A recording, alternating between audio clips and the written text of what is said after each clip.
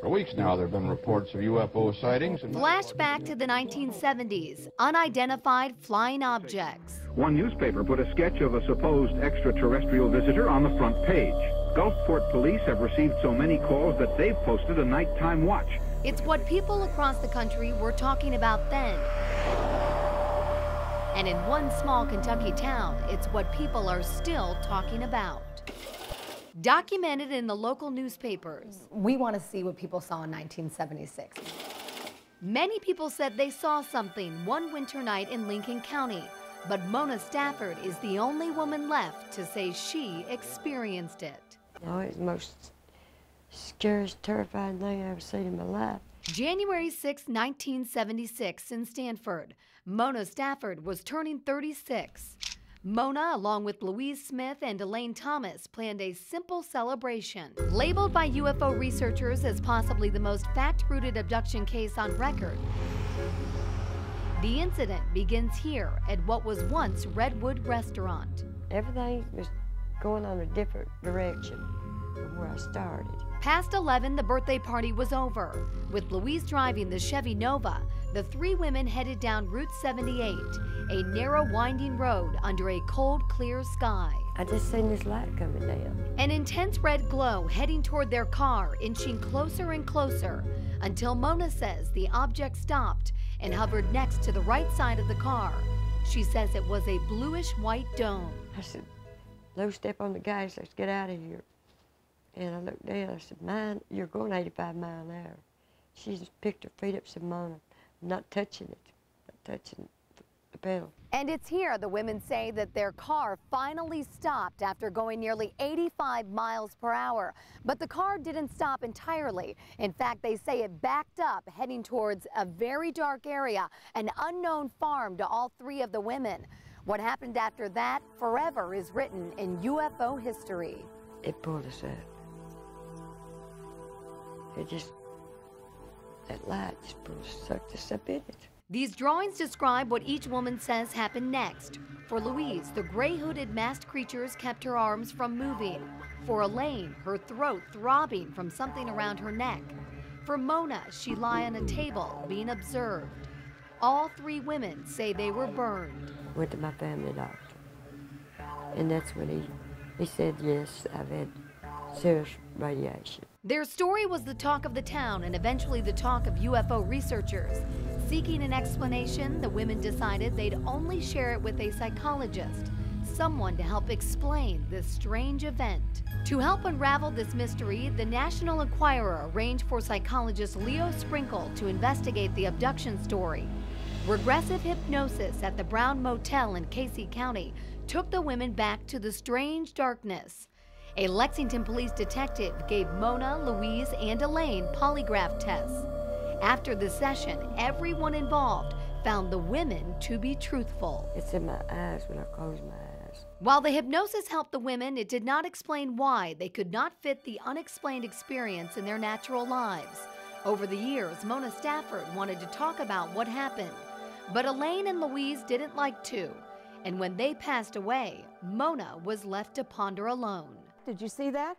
That light, it's blinding me. I can't see anything. 35 years later, Danville based playwright Elizabeth Orndorff is talking about the women's story. High Strangeness is a lighthearted tale fit for an audience. We're lucky that she shared it with us instead of keeping it to herself. Mona Stafford, Louise Smith, Elaine Thomas, three ordinary women with an extraordinary experience. An experience decades later, seemingly without an answer. I know what it is, but I want, I just want to know.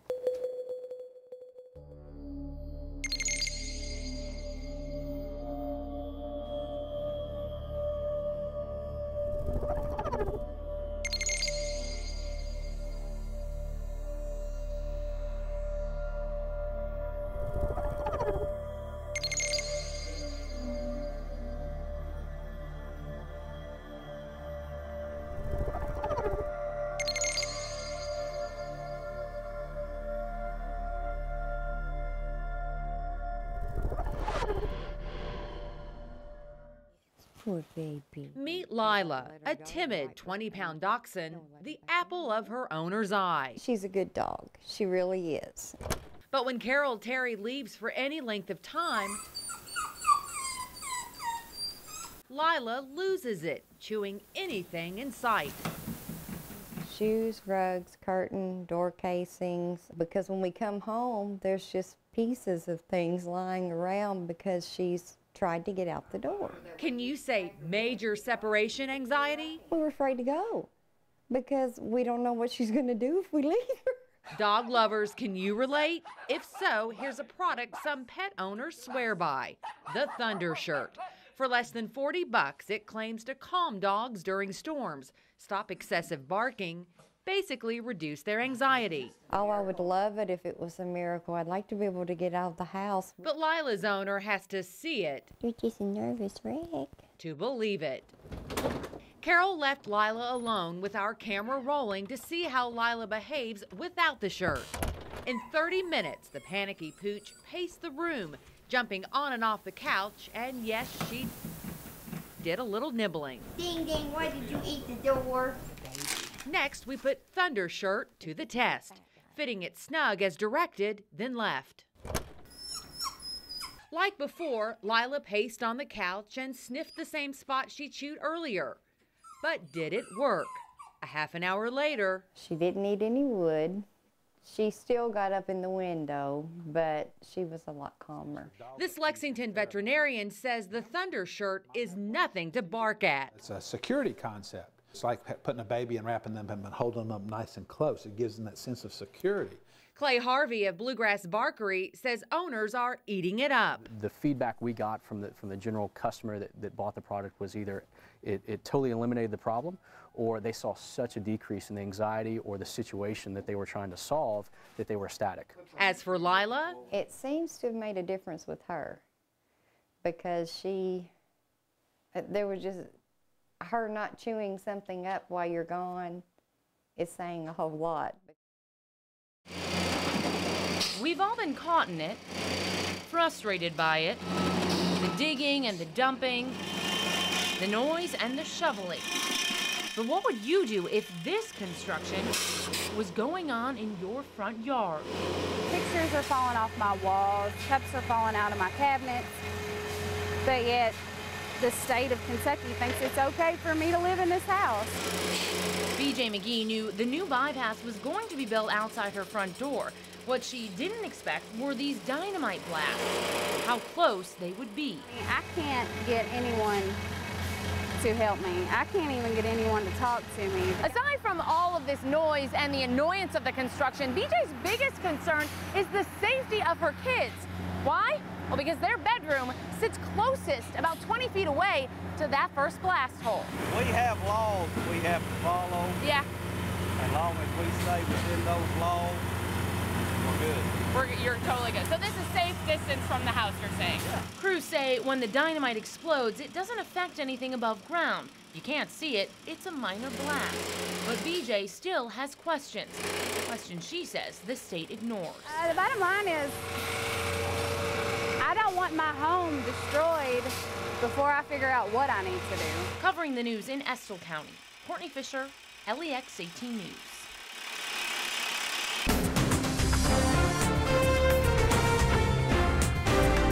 If there is one person who has every right to question the system, it's Lisa Carr. But she's no longer with us. What happened to her should be a big wake up call to those who decide it's okay to parole violent offenders. We're on special assignment to show you why. Lexington 911, where's the emergency? Uh, yes, but somebody next door is calling help. Call the police at 714 Aurora Avenue. There's a man with a knife attacking a woman. inside this home, a dying Lisa Carr stabbed 13 times with this kitchen knife, names her killer before taking her last breath. Was Broderick? Broderick Blink. What's his name? Broderick Blinko. Roderick Blinko, a career criminal, cut break after break, this time busted for murder. She was stabbed in her abdomen area. She was stabbed in her back. She was stabbed in her neck and her throat. Roderick Blinko should have been in jail. LEX 18 discovered despite his violent past, Unlawful imprisonment, robbery first, robbery second, burglary third. he was routinely let in and out of prison's revolving door, paroled eight times before he graduated to murder. The parole board gambled with this yard bird, and Lisa Carr lost. LEX 18 found that after Blinko's eighth parole, eight months before Lisa Carr's murder, the system had at least two more chances to lock up this soon to be killer. He violated parole twice, but instead of going to jail the second time, Blinko went to a halfway house. It was during this time he murdered Lisa Carr. How does somebody like that get paroled? It's a question that we ask every day in this office. A question we wanted answered. In this case, This is the most egregious that I have seen of how it has affected the criminal justice system. Senator Kathy Stein wants a prosecutor and a defense attorney who says clearly there was a breakdown. I'm surprised that he was let out of uh, prison uh, for a violent offense, the robbery. Several violent offenses. Uh, I mean, I'm- eight times he went before a parole board. it perplexes me as well, but I want to go look at this guy's record. Lisa Carr wasn't asking for this, but she got it because the system let her down. Roderick Blinko was sentenced to life in prison. And we'll keep an eye on Kentucky's revolving door of justice. Back to you. The earth was horribly torn to pieces. At first, the Mississippi seemed to recede from its banks. Eliza Bryan, New Madrid. Journals, books, and artwork capture the catastrophe of the 1800s. Some research suggests the Great Quake was actually a series of more than 2,000 shocks over five months, the greatest on February 7, 1812, measuring 8.8 on the Richter scale. frightening and more historic than any earthquake in the United States. Ann Copeland helps run New Madrid's History Museum. The latest addition is this new exhibit created for the 200th anniversary. We think that it just it needs to be told because people need to be aware that these things can happen. The quake rattled people as far away as New York City, rang church bells in Washington, D.C., and changed the landscape forever. Still today, sand pits are left from fractures in the earth. 200 years ago, the closest settlement to the epicenter of the Great Quake was here, New Madrid, Missouri, right along the Mississippi River. Now the fault line beneath us has become known as the New Madrid Fault, a fault some say could repeat history. The fault crosses Kentucky, Missouri, Arkansas, Tennessee, and Illinois. In 1990, researcher Iben Browning predicted the next big one would hit on December 3rd. Schools closed, earthquake insurance policies soared, and the media descended on the town of New Madrid. Residents remember it well. About two weeks before that was supposed to happen, we had a pretty good shaker. And I thought, looky here. Maybe it is going to happen. Nothing did, and it was dubbed the Great Media Quake of 1990. It opened our eyes and told us you're not prepared in any way. Talk of the next disaster hasn't stopped. Geologist Zhenming Wang at the University of Kentucky says the New Madrid is capable of repeating the nightmare of 1812, but he says probably not for several more hundred years. Some say when it does happen, Memphis and St. Louis would fall. Wang says in Kentucky, Paducah would be hit worst. In Lexington, he says damage would be minor, older homes may crack, chimneys would crumble. There would be devastation.